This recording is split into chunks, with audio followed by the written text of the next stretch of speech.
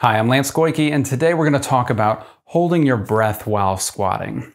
Okay, so a lot of people will use this breath holding technique to create pressure in their abdomen while they're doing a heavy squat so that they don't collapse under the load as the load gets heavier.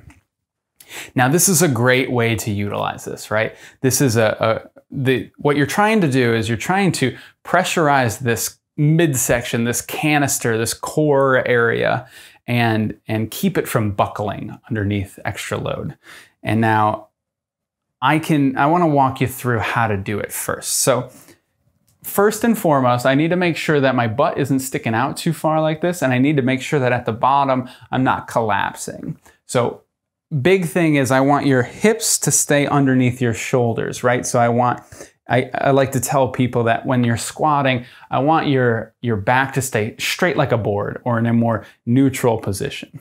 Okay. And so I can set that up with an exhale. I roll my hips back a little bit and I feel my abs turn on slightly as I'm pulling my pelvic bones backward. And then I say, okay, I know I'm in a good position. Now what I'm gonna do is I like to picture having a, a, belt on. Maybe you actually do have a belt on when you're lifting, but I, I think if you need the belt to figure this out, or to eh, you can't do it without the belt, that you need to learn how to do it, right? You need to learn how to turn those abs on on your on your own. So we're gonna pretend that I have a belt on, and we're gonna keep that exhale, hold that pressure here. I've got pressure all throughout my midsection here. And what I'm gonna do is breathe in all directions into it. If I pretend I have this belt on wrapped around my whole body, it's gonna expand forward, side to side, and backward all at the same time. So it looks like this.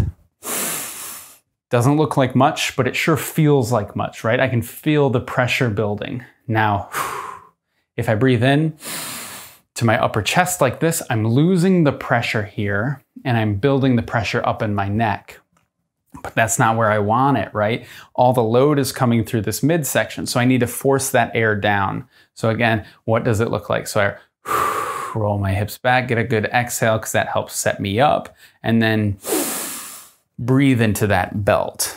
Okay, so that is how I'm using bracing when I'm doing exercises when is it inappropriate? So if I'm not looking for maximal loads or maximal weights, then I probably don't need to brace. If I'm, I'm maybe six or above reps, maybe, maybe I could let you brace when you're doing six, but above that, anything where a lot of metabolic fatigue is accumulating where your legs start to burn, you're gonna wanna continuously breathe throughout that, right? You're gonna wanna keep those oxygen levels high so that you can fight that fatigue off for even longer. So in those cases, I would say inhale on the way down, exhale on the way up, instead of holding your breath on each rep, okay? Because you'll, you'll gas out quicker that way. You'll, it looks something like that and it sounds something like that. Um, when does this come up? So that's generally like generally I want you to inhale on the way down, exhale on the way up for longer reps. But what you'll notice is people who are averse to feeling that that pain of you know my muscles are getting tired, my legs are burning.